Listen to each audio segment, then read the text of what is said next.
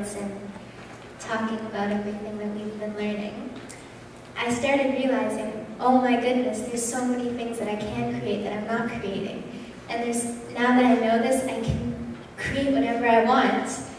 And we were talking about this, and I was like, and I can create this, and I can create this, and I can create this. And she was like, I know you can. and it's just unbelievable that now that I know this stuff, I can I can do it. Yeah.